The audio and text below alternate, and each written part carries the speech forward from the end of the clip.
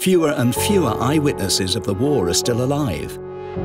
When we read a newspaper article in which war veterans reached out with a plea to keep their stories alive, it got us thinking, how do we pass on these personal stories from the past to a digital generation?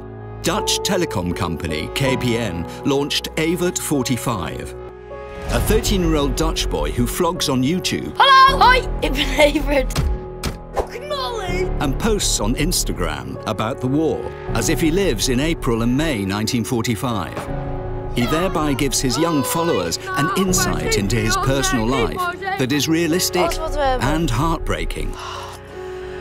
His life is based on true personal stories.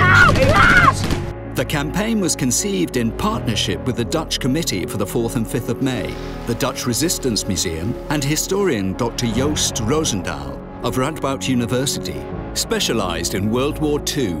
The campaign resulted in a reach of 70% of Dutch youngsters in just three weeks.